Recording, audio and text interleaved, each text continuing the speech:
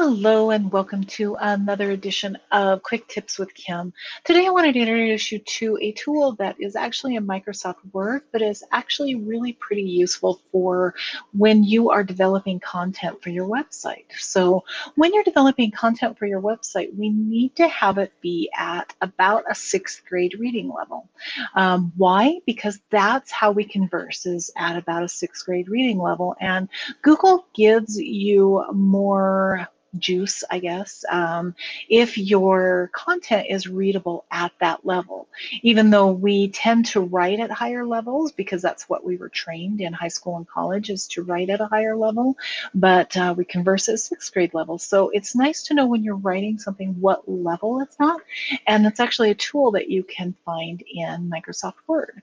So here I have a document of uh, that I've put together and you can go into the spelling and grammar. Um, but before you do that, you actually have to turn this on. It used to be automatically on in older versions of Word, but if you have an updated version of Word, you're going to have to go to File,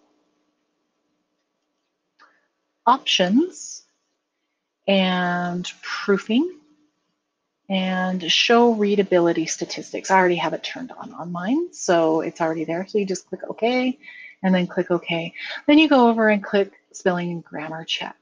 Now, I've already done the spelling and grammar check for this particular document, so I didn't have to take you through all of the that um, you know accept or change, um, so that we could get this readability statistics pop up. So you'll see right here that the Flesch Kincaid grade level is six and a half so 6.5, which is great, right?